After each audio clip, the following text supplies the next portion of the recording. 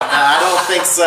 right? So, so, so then he gets to the famous video that, he, and here's what he says: a video that surfaced in 2017, right? Well, look, I saw that video in 1983 back when there was a thing called VHS. Right? what is now, that? yeah, exactly. Comment if you know what a VHS is. and VHS is a thing that was played on a VCR. So comment if you know what VCR uh, means, right? Um, now the truth is, the truth is that um, the video did. did it, here's what happened. Um, and I, I love the guy. I think he's called uh, Beard, Beardy Beardy Central. I love what he did. He restored the footage he, um, it, it, got colorized. There's one error, as, to the best of my knowledge, that occurs. Um, they think that it's a fight, not a fight, a demonstration between Bruce Lee and Ted Wong. I'm pretty sure it's not Ted Wong, it's Dan Inosanto. Yeah. I'm pretty sure, uh, uh, I think you're I, right. I am pretty sure. Yeah. Because this is 1966, and I don't think Ted Wong was training at that time. Gotcha. You see? Yeah. So, but Inosanto definitely because they had met two years previously mm-hmm. in '64. Mm-hmm. So I'm pretty sure it was Inosanto and um, and Taki Kimura. Is Inosanto who, who the, the, the oldest student, or along it, or was he the one who had started with Bruce Lee first, like before all these other guys? I know there's. Oh. You know what I mean? Okay, so okay, so chronologically. Right. Yes. Okay, yes. so yes. Yes. chronologically. Trying to ask a question, yeah, guys. okay. This is this is yeah, and this is where see this is where if you haven't put in the time uh, reading and maybe even studying uh, about Bruce Lee and Jeet Kune Do, this is where people's lines get crossed. So you could say that the most senior person uh, in the Seattle group is Taki Kimura. You could say that. But that would mean only that Taki Kimura is most senior because he was put in charge. But it doesn't mean that chronologically he's the most senior. Because apparently, uh, no, apparently, Jesse Glover was the first person that uh, Bruce Lee took on as a student. Wow. So chronologically, Jesse Glover would be the senior. Right. You, you, you get right, what I'm saying? Right. But in terms of who was put in charge for whatever reason, it was Taki Kimura. Mm. Then um, James Lee would be the second guy, so to speak, because he was put in charge in Oakland. Mm -hmm. So then that makes Inosanto number three because he was in charge in Los Angeles. And that's one way of looking at the eras, the different eras in Bruce Lee's development. Right? So, yeah. so it, it, it's like Seattle is sometimes considered to be the modified Wing Chun era. Um, Oakland is considered to be the Jun Fan Kung Fu era. Yeah. You see, and then. Los Angeles is the Jeet Kune Do era because the term Jeet Kune Do was coined when he lived in, in Los Angeles. It wasn't coined in, in Seattle. It wasn't coined in um, in in Oakland. Mm. So there's that breakdown. Yeah. Right. Does that answer? No, that yeah, that definitely okay. answers. All right. Yeah. Actually, that, some, something was that in there. a little thing comes up about that because um, because yeah, what, what happened on, on the YouTube is that the, this, the clip was titled something like um, footage of Bruce Lee's only real fight. Mm. And since we are having this discussion with Crowder over whether Bruce Lee was a real fighter or not, you put something like that on the YouTube, it will blow up. Of course. Everybody's going to click of on course. it. This, what, what do you all call it? Clickbait? Clickbait. That's what that is, right? So it worked uh, perfectly. Actually, Emmanuel Mil Miguel Ruiz has a question. Is Crowder even a martial artist, Sifu? Uh, Who so, asked that? Emmanuel Miguel Ruiz. Hey, thanks for the, uh, the question, Manuel. To, to the best of my understanding, he has done wrestling. He talks about doing the, um, actually, on the Klavan show, he says something about having glass knees, so he's probably not currently training. But then on, um, on his own show, he talked about, uh, ben, he talked with Ben Shapiro once and was making fun of Shapiro for looking at Krav Maga, right? Whereas Crowder was looking at Jiu Jitsu right? And then when he makes the thing about when he, on on the Klavan show, when he makes the thing, he says the thing about how he could strangle um, Floyd Mayweather he's talking about rear naked choke. Right, you know, right. I mean, it, it's just like signature BJJ stuff. Yeah. So he's he's definitely he definitely appears to be one of those who's like, if it's not BJJ because BJJ or MMA fighters, you know, they rule the world, then your martial art is not worthwhile. silly. Real martial artists don't get. I mean, look, That's we silly. we get our what, what's the, what's the saying? Panties in a bunch. Yeah. Right. We get ours over Jeet Kune Do because that's our thing. Right.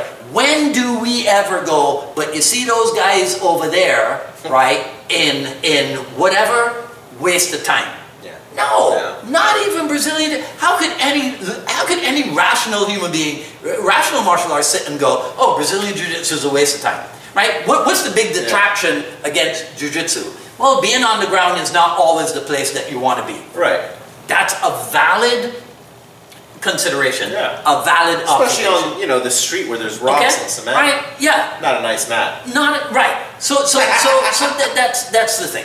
Yeah. But for anybody to say that because of that, that makes the whole art of Brazilian Jiu-Jitsu, Useless. Useless. That's, that's yeah.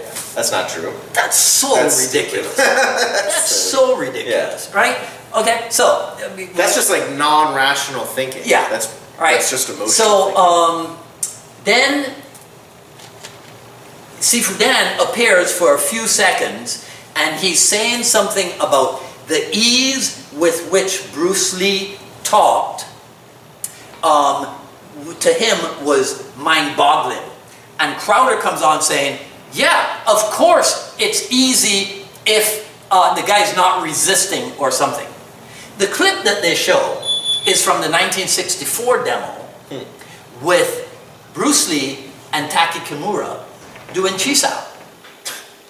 So it has nothing to do, right, with fighting. right. And Bruce Lee obviously is lecturing or, or speaking while he's doing the Chisao. Right. Yeah. So he inserts this little thing with Dan Inosanto saying that Bruce Lee's ability to him was mind-boggling in 1964 to make another crack, another you know wisecrack about um, uh, uh, uh, uh, about Bruce Lee not being whatever and whatever. Right. Right. No, that's Okay. insane. Yeah. Um, then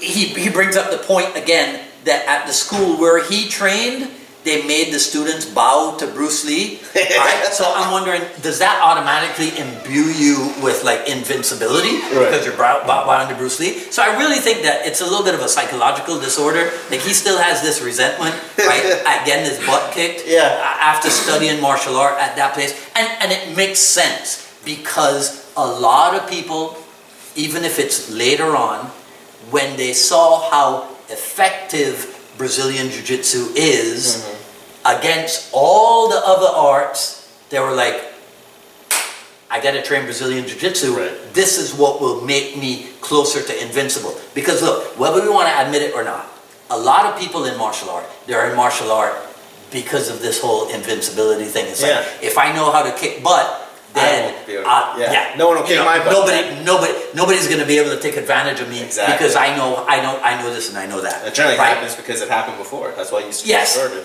Yes. Many times. You see, right? But then what, would a real martial artist discover? Yes, you develop an ability to fight back. But all of a sudden, this thing about proving yourself as a fighter, it's not that big a deal anymore. Yeah. Right? The pe- so, so again, there's a Very certain true. psychology that drives people to get in the ring, compete, be able to win, and jump on the top of the fence and go like this. Yeah. Come on. Yeah. Anybody who has ever experienced that level of adulation, Yeah. right? Look, we feel good if we put something on, on, on the YouTube and somebody gives us a positive comment. Yeah. Right? yeah. I mean, do I that mean, here, I mean, guys. right? You know, yeah, if people pound the likes, if people Pound the if, if- likes. if people put the, the, the hearts or whatever it is Yeah, that you yeah. do, we feel good. Right. Imagine then that multiplied a thousand times Yeah. because you just beat the smack out of a guy, That's- submitted him with a rear naked choke, and then you get to jump on the top fence. validating. It's Right? validation. That's all you're seeking. And, and, and, and what's wrong with that? right. If that's what drives a guy, that's what drives a guy. But why does but, but imagine that guy get up on the fence, go like this, the crowd roars, and then he goes, you know, Bruce Lee was a total farce. You know, Bruce Lee didn't know anything about martial arts, and he was a compulsive liar. Why? Yeah. No need Right? for Right? Okay. So, um, eh, what, what's the other thing he says? Oh, so then here's another one of his jokes, right? He says, um, you know, I, I got my butt handed to me while a, while a student at that school that made me bow to Bruce Lee. So then he says in the in the in the Chinese voice, "Be water, my friend, and you'll get your ass kicked." As if it's Bruce Lee's fault that he got his ass kicked. Exactly. Exactly. Because they made him bow to the image of Bruce Lee. It and all he got his ass kicked. Yeah. So be water. So so the person who's responsible for that ultra popular uh, saying, "Be water, my friend." Now Steven Crowder thinks he should add, "And you'll get your ass kicked." Right. That's silly. All right. Yeah. I mean, come on. All right. Guys, Um, comment, comment, comment. Let us know what you think. What do you think about this whole thing? I mean, are you on uh, are you on Steven's side, so to speak? What What's your input on this? You know, smash the likes. Kevin Thompson, is Jeet Kune Do mixed with Wing Chun? It's a great question, Kevin. Sifu. Well, again, uh, as as as is the answer to a lot of things about Jeet Kune Do, yes and no. Right. No, it's not mixed with Wing Chun. Now, are there aspects of Wing Chun's training that Bruce Lee retained in his development of ideas as a martial artist, which is and for which those ideas, the name given to those ideas is Jeet Kune Do. So, it, are there elements of Wing Chun? Did Wing Chun play a role in the development of Jeet Kune Do? Yes. Yeah. But the this is where language is important. Mm. You see, now as a guy who writes words for a living, you understand the, the, the, the importance of that. So to say that Jeet Kune Do is mixed with Wing Chun is inaccurate. Mm-hmm. And unfortunately, this can sometimes be a drawback. Look at how long I took to answer that simple question, is Jeet Kune Do mixed with Wing Chun? Right. You could just say no, Yeah. but that doesn't explain anything. Right, exactly. You could say yes, but that doesn't explain anything. But keep this in mind. What's a big factor in Jeet Kune Do? Truth. Yeah. Truth uh, slash accuracy or whatever. So I will take a little bit more time to explain why I'm giving the answer the way I'm giving it. And back it up whenever possible. Yeah. Unlike Steven Crowder, who makes his claims, right, and doesn't really back them up with, with anything. Guys, if you know Right. Steven Crowder personally, make sure you share this video to him, send it to his inbox, send it to his house, send it to his text messaging phone. No. That's funny. That's funny. Uh, so so then um, Is it Tweeter or Twitter? Send it to his tweeter. yeah right. So of course al- along the way right he takes the time again to insinuate that that it's Bruce Lee's students Right. who are spreading all these falsehoods uh, so they can sell martial arts books or something right uh, and he, he names he names uh, Taki Kimura, right? Mispronounces his name. Uh, he names Jess Glover as opposed Wow. to Jesse Glover, right? So, to the best of my knowledge, You Jesse saw his smack about them as well? Yes, right? Now, what books did Taki Kimura try to sell? I don't know about any. What books did Jesse Glover try to sell? I don't know about two. I think Jesse One. actually did put a book out, but I don't ever remember Jesse Glover being on the circuit. Right. Buy my book, buy my book. Nah, Come on. that's silly. All right. Uh,